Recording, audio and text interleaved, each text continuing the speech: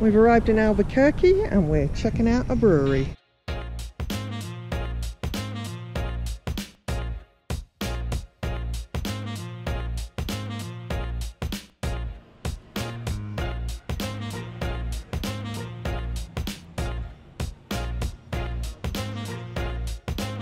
So, uh, from either the outside silo This is one of the base malts.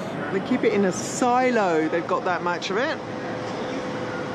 or any of our specialty malts, they'll come into here. This is our mill. Yep. You guys can feel free to look inside it, maybe. What happens is uh, there's two rollers. The first set of rollers is going to try to just crack the husk Yep. and make sure we have something to filter in the mash tun.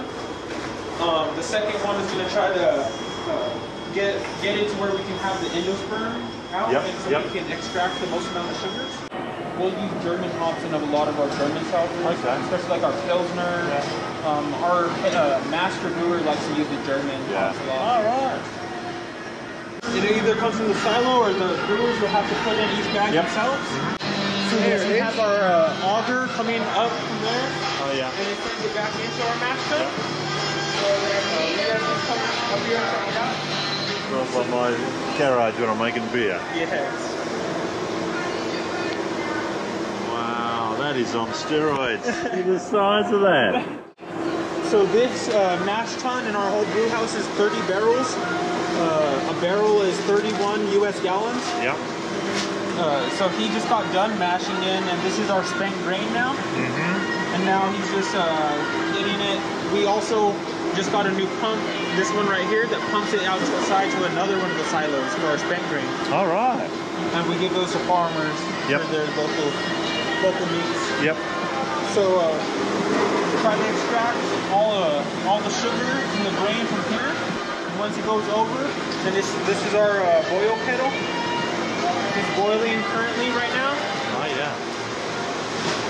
So this is where we usually add any like dextrose, Yep. hops. Mm-hmm. Like you said, you homebrew, so you, Yeah, yeah, yeah. we'll usually do uh, an hour boil here. All right. And from here, to help get any of our hop particulate out, or any of the leftover proteins and grains, Mm-hmm. this is our roll pool. Yep. So it spins around here, Yep. and uh, the solids come out, and the clear beer tries to go through the middle. Smells good. Oh, it smells good. This is our orange peel and I was going to say, it smells Yeah. orangey. Yeah. That's why. The coriander. Coriander. for our double whites All right. Yeah. Yeah. on our big salads. Yeah. Yeah. After the whirlpool, they'll come through these process pipes down to our pump into our heat exchanger. And the heat exchanger has cold waters from our cold liquor tank Uh huh. and uh, glycol, cold glycol. At that point, that's when we will add yeast and oxygen. Our left here is going to be our 30 barrel fermenters. The fermenters uh, have a conical shape, so we can collect our yeast or we can dump it Yep. um, then uh, once it's all fermented, attenuated out, uh, then we'll switch it from our fermenter to our bright tanks, the ones with the flat bottoms. That's usually uh, clear beer that's ready to go, get carbed up and ready to package.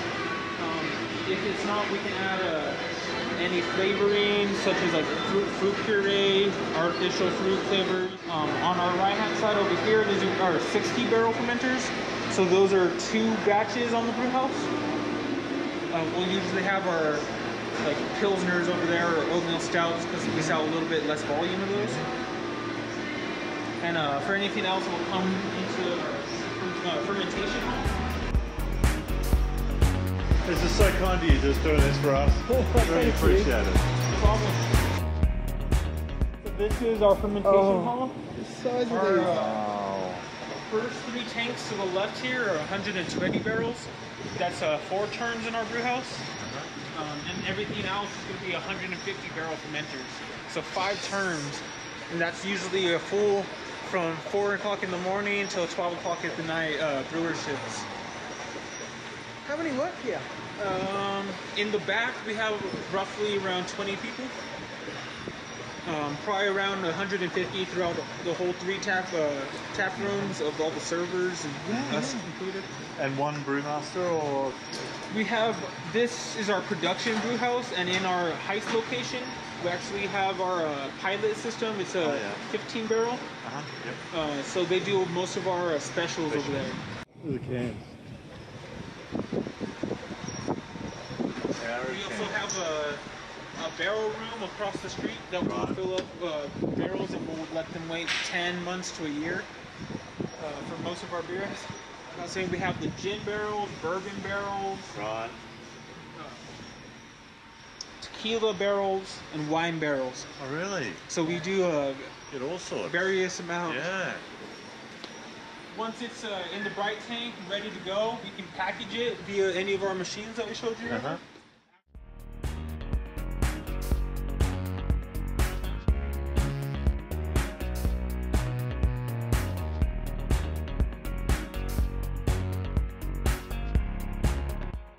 Just about to do some bottling.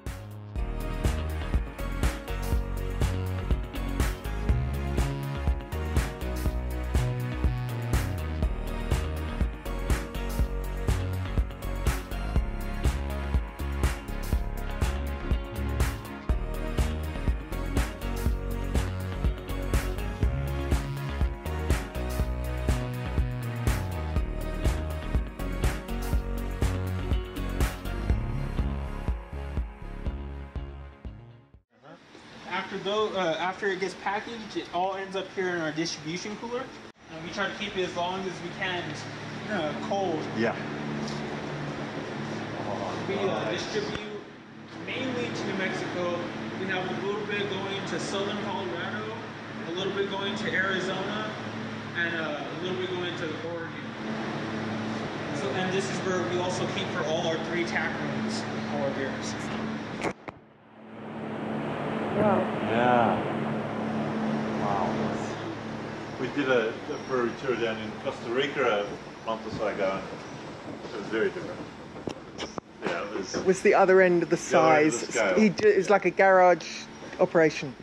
Here we are at Angry Goat Brewery Yes. in Costa Rica in Coco. I just love checking out breweries. And uh, I heard that Albuquerque has more breweries per capita than Portland. wow, I believe it.